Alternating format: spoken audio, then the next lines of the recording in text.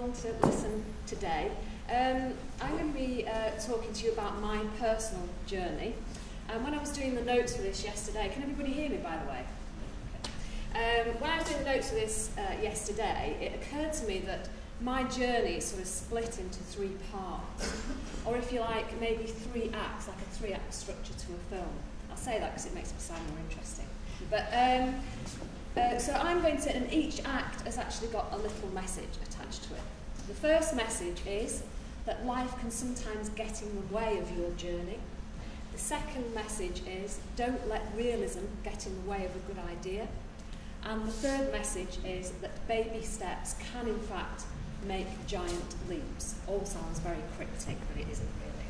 So Act 1, picture the scene. Um, 16, punk, uh, decided that I was going to leave school and become an actress, like you do.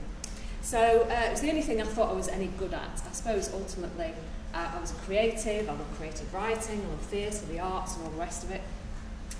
So I thought there's absolutely um, no way I'm going to do anything else and I was absolutely determined that I was going to make it in acting and I was going to be discovered.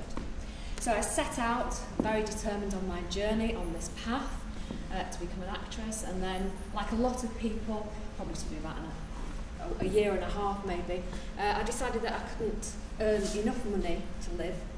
Uh, so I thought, well I'll get myself a temporary job well actually it was a full-time job but I thought I'll, I'll do my acting in my spare time and I'm sure somebody is going to discover me one day so it doesn't really matter what I do. So I then entered the insurance industry. No disrespect to anybody who's in the insurance industry but it doesn't really fit uh, with my skills and strengths. So I entered the insurance industry and thought well it doesn't matter because I'm going to be discovered anyway. So imagine my surprise 22 years later, I thought, hang on a minute, I'm still in the insurance industry, haven't been discovered as an actress. How on earth can that happen? I was so determined, I was going down this path, I thought this was going to be great. And then somewhere, approaching 40, I'm over here thinking, hang on a minute, what went wrong there? Um, and I think that's very common, isn't it, with, with lots of people. You hear it all the time. Um, life just sort of get, gets in the way you know, people have relationships, they move away, uh, have families and all the rest of it. And what you set out to do, you somehow sort of get diverted from that path. So as I say, I was approaching my 40th birthday, and this tends to happen, doesn't it, when you have a, a birthday with a zero on the end. You just think, hmm, I have to re-look at my life and, and see what I'm doing. And um, I, so, I suppose that, that brings me on to, to Act 2. So I decided I was going to leave the insurance industry, and I have to say I did have the support of my husband at the time, which was very helpful. And I thought, I know I'll start my own business. I'll get out of the corporate world and I'll start my own business and I'm going to be a great success. And that didn't work, my first business. Then I had another business and that was a bit more successful. But there was just something, I don't know, something missing, something not quite right. I was thinking, why am I not feeling like this is the best thing since sliced bread? So um, I decided to have a, a little sort of period of, of self-discovery, which sounds a bit self-indulgent, I know. But I thought, no, I'm going to spend a little bit of time just finding out what makes me tick.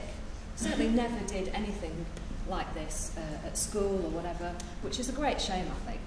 So I've now got a vast self-help library. I've got every how to achieve success book and all the rest of it. They're all on the shelf there. And I think one that stands out um, probably more than any other is, is a TED favourite actually, Ken Robinson. Um, I think he has some very popular sort of videos uh, on TED. And he's written a book uh, called The Element, How Finding Your Passion Changes Everything. And that really is a great book, so save you buying all the rubbish ones that I bought. Uh, if you're going to buy one, buy that. And uh, I think for me, if, if you boil all these success books down, they rely on uh, one key message, which again is something that's highlighted in Ken's book as well, which is you need to find out what you're good at. And that sounds a bit obvious really, but your skills, so what you've learned in life, and your strengths, and also what you feel passionately about. Because there's an area between those three, I could have done a slide on this actually, much easier, um, where those three things overlap. and it's a sort of like a little magic triangle in the middle. And if you can set a goal in your life around that bit in the middle, you've got much more chance of achieving it. And it, it sort of makes sense really, doesn't it? So if you set yourself a goal based on what you're good at and what you feel passionately about, you've got far more chance of achieving that. And also you're going to enjoy the journey. So that's what we're talking about, the journey. So I thought, right, well, you know, spent money on all these books, might as well do something about it. So I set myself some goals that day. Um, so um, I did actually, because I, I don't know if any of you set any goals and use the SMART, have you heard of SMART goals? So um, it's specific, measurable, achievable, realistic, hate that word, um, and uh, time bound, I think is the T. So I thought, no, I'm going to do it properly. And I, I was setting lots of goals around what I wanted to do in my personal life, as well as what I might want to do in my business life. I thought, I know, I'll, I'll try an experiment. Um, I'll think of one, because it was this realistic thing that was um, I just, it jars with me, the word realism, and, and that sounds ridiculous, but I suppose as a creative person, I'm like, oh, I can do this, I can do that, and well, that'd be great, and how hard can that be, you know? So when it says realistic, to me it's like, mm, uh, drains me of energy. But I thought, what I'll do is I'll, I'll, I'll think about the best possible thing that would make me happy. So something ginormous and, and massive goal. But if I actually achieve that, it would make me the happiest person in the world and, and very fulfilled. So I was, you know, I was still looking at the, you know, the skills, strengths, passion. So I, I wasn't, I don't think, being deluded. Um, but I decided that I, I was going to set myself a goal to, to actually write and produce a feature film like you do.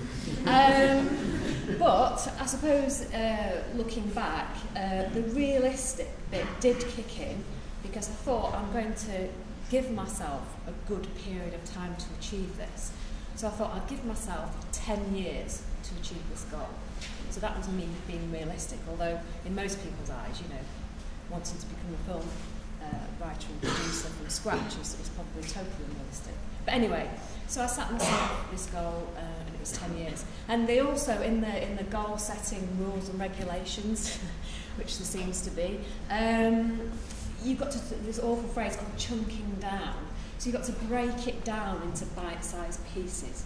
So if, if I'm going to be here in 10 years, in five years I need to have made some short films maybe, and, or whatever, and then this in year three, year two. So your first step is a baby step. Um, and it's something that you should be able to easily achieve. So it's not going to be off-putting. Can you imagine? I mean, I have no idea how to get to that 10, you know, my 10-year goal. I, I didn't know any writers. I, I didn't have any networks. Uh, I hadn't written a film script. Looking back, it is rather stupid put down. But anyway, um, I was thinking, no, what I'll do is I'll set myself a year um, in order to do some research. Research is a brilliant thing for procrastinating when you're goal setting. Um, so I gave myself a year to research some networks, try and, try and uh, get, get on a, a screenwriting course, um, you know, all that sort of thing. So uh, I was quite pleased with myself because I got some sort of realistic, achievable type goals, and I've got this big, fat, hairy goal that I didn't really know, but I thought, well, we'll see where we go with it. As it happens, the very next day, uh, I was actually going to a business networking event, which I wasn't really looking forward to. Anyway, I went to it, and unfortunately, I got talking to an accountant. Now, I must apologise if anybody's an accountant in the audience, but he started talking about tax, and my eyes were glazing over. And one of the things, another in the rules and regulations of goal setting, you're meant to tell people about the goal. You're meant to tell people what it is you want to do. Because generally speaking, people are quite nice and they'll help you if they can. Anyway, this man was dribbling on about tax, and I was, I was thinking, oh, I need to network around the room, you know, how am I going to get rid of it? So he said, Janet, what is it that you do? So I thought, right, this is it, I'm going to make him choke on his drink. So I said, well, I'm a, I'm a writer and I'm going to make a feature film, thinking he's going to splutter. And he went, oh, that's really interesting. As it happens, um, our accountancy firm actually deals with a lot of creative and media businesses. Do you know this man? Gave me this man's name "I don't actually. So, well, it might be a good connection for you because he actually runs a new writing festival in Manchester. I'll give you his number. So he wrote it down. My turn to be spluttering on my drink because, first of all, he took me seriously, and I've just told him a big fat fib. And um, he, he, you know, in all good faith, he's, he's given me something to try and help me. So, Act Three. Picture the scene, opening scene. I'm sat on my sofa at home with a cup of tea and said piece of paper with number on and the man's name, thinking I've just told the accountant huge fat fib, can't really now ring this guy and say the same. What am I going to do?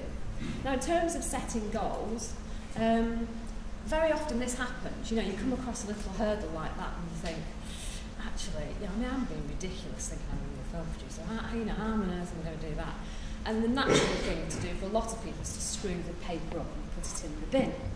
But I thought, no, what I'm going to do, I'm going to ring him, but I'm going to come clean. So I did. I rang the guy. He's an absolutely delightful man. He's, he's, he's my friend now. And he, he knew everybody I needed to, to know.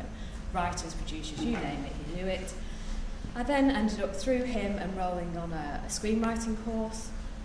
Um, so it was brilliant, absolutely brilliant. And, and I came clean. I said I'm, I'm an aspiring writer or something. So uh, I felt a bit better about that.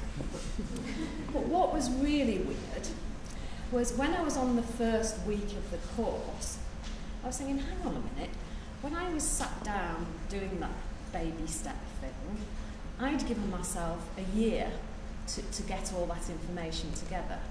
And what I actually realised at that moment was all that had happened within a period of eight weeks. And that felt really, really weird and quite mystical and spooky. And I sort of, you know, you've heard about this cosmic ordering and stuff like that. You know, people just write it down, boom, it appears. And it sort of feels a bit like that, but of course it isn't. Uh, because it, it's just goal setting. And when you set yourself a goal, and when you write it down, when you tell people about it, um, things just happen very, very quickly. So, um, it, because you're focusing, you're just focusing on, on one particular thing. So, um, that now was three years ago. Um, I actually wrote a short film script as a result of the course I went on. Um, and I produced it, I produced the film. Um, it has some people in it actually. Mr. Motivator was in it. Do they remember Mr. Motivator? Um, who was great. Um, so I did that. Uh, and then as a result of that, because that was a comedy film, a comedy sort of my genre, if you like. Um, I was quite uh, put out by the lack of, uh, well, certainly a film festival dedicated to comedy, uh, comedy short film. Um, and also, it was all a bit confusing. You know, the, I know the creative industries aren't a, an exact science, it's not like going into law or something like that, but it really bugged me that, you know, um, the advice to me as a, as a new filmmaker was, oh, you just got to go around to festivals and keep making films and you might meet somebody. And, you know, it was all a bit... So what I decided to do was set up uh, Cofilmic, which in essence is um, a talent network for comedy, but it crosses film, TV and live performance. So essentially, it's for people like me um, who are starting out in the comedy industry across those different areas I've just mentioned and, and giving them a leg up into the industry. So we run an annual comedy short film festival, uh, which is just, we had the second one, we've only been running two years, at the Comedy Store in Manchester, uh, where we have uh, competition, festival and awards. We also now uh, offer a number of courses on writing and telling, selling TV comedy, and uh, run competitions and all sorts of things. But the big thing about it, and it probably took me about 10 months to get together um, all the industry people who were going to help um, this new grassroots talent, if you like. So I'm now in touch with TV, comedy commissioners, producers of, of comedy film, a cinema chain, all the rest of it. So it's, it's all the ingredients and all the people necessary to help get that grassroots talent um, to, to, you know, just give them a platform, if you like, uh, to get their, their work shown. So that's, that, that's Cofilmic. Uh, on a personal level, um, I've actually, I'm just in the process of producing two short films, uh, which are going to be shot in March, um, which is really exciting. And uh, so perhaps thinking about it, where am I? Three years into my 10-year goal, um, it, it's actually happening a lot quicker than I thought it was going to be. And really interesting, if you remember what I said at the beginning, uh, the realistic, achievable stuff didn't actually uh, fire me up very much, and consequently haven't really done much with that. But my big, fat, juicy goal, surprise, surprise, because it, it is something I feel really passionate about, uh, has started to, to really fly.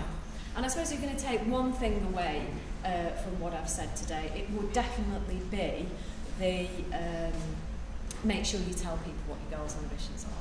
Because like that guy, that guy, you know, if I hadn't blurted it out, and I know I was telling a bit of a fib, but if, if I hadn't blurted it out to that guy that day, um, really, um, I don't think things would have would have happened as quickly. It really sort of turbo boosted my my chances of achieving that first baby step, which then became something uh, much bigger and bigger. So if, you could, if I just to stretch the film analogy one more step further, so as the closing credits are going up in Janet Harrison, The Journey, the movie, uh, I suppose I'll be in my posh frock um, uh, clinging on to my BAFTA at the ceremony. Or perhaps that's uh, just uh, completely unrealistic, I don't know.